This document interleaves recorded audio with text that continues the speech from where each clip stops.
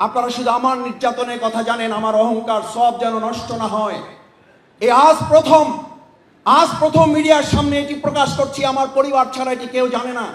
আমার এক সন্তান শহীদ, আমার স্ত্রী যখন সন্তান সম্ভবা, তার বাবা আমার শ্বশুর তখন কেরানীগঞ্জের ইসের জেলখানায় দেখা করতে গিয়েছেন।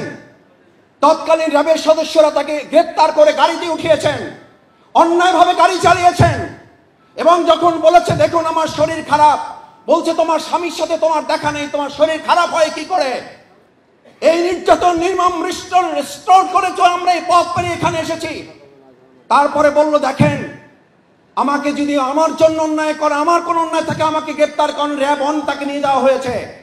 আমি এই কথাটা বলে শেষ করছি এই জন্য। তারপর তাকে ছাড়া হলো না। আমার মা তার তখন আমার আড়াই বছরের সন্তান আর একটা বাড়িতে। অবস্থান করছেন। আমার বৃদ্ধা নব্বই বছরের মা তাকে নিয়ে র্যাব অনে গেল, এক সাংবাদিকের সাথে যোগাযোগ করে। বলা হলো, আপনার সন্তানকে নিয়ে আসুন, তারপর তার স্ত্রীকে, আপনার বৌমাকে আপনি নিয়ে যান। আমার স্ত্রীকে নিয়ে আসা হলো কোনোভাবে? এর কয়েকদিন পরেই ডাক্তার বলল, তাকে অপারেশন করতে হবে, সন্তান জন্ম হলো। এটি কান্নার বিষয় নয়, এটি চোখের পানি ফেলানোর বিষয় নয়। আমার সন্তান জন্ম হলো, আমাকে খবর দেওয়া হলো। আমি আসার জন্য উদ্যোগ নিলাম। হসপিটাল কর্তৃপক্ষ থেকে জানানো হলো, আপনি হসপিটালে আসতে পারবেন না, কারণ হসপিটালের আশেপাশে সব দিকে সবাই ঘিরে ফেলেছে।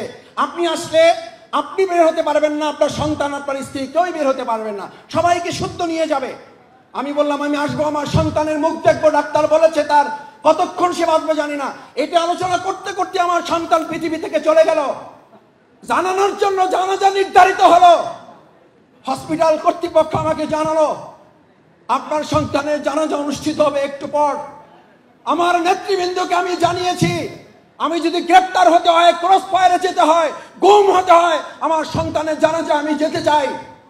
আমাকে জানানো হলো সংগঠনের সিদ্ধান্ত, তোমাকে সবর করতে হবে, তোমাকে এই মুহূর্তে আমরা প্রশাসনের মুখে ঠেলে দিতে চাই না। আমার সেই সন্তান কিলগা কবরস্থানে তাকে দাফন করা হয়েছে আমার শহীদ সন্তানের জন্য। আপনাদের কাছে দোয়া চাই, এটার জন্য, তার জন্য তো দোয়ার দরকার না আমি বিশ্বাস করি। নবজাতক হিসেবে আল্লাহ তালা তাকে কবুল করেছেন। যেন আল্লাহ তালা তার সাথে আমাকে জান্নাতে দেখা করার ব্যবস্থা করিয়ে দেন। এই পথ মারিয়ে যেই বাংলাদেশ পেয়েছি, শুধু এতটুকু বলেছি এই জন্য, এই বাংলাদেশকে আমরা আর কোন অবস্থায় বিপদের মুখে ফেলে দিতে পারি না। আমাদের নবজাতকেরা শহীদ হয়েছে।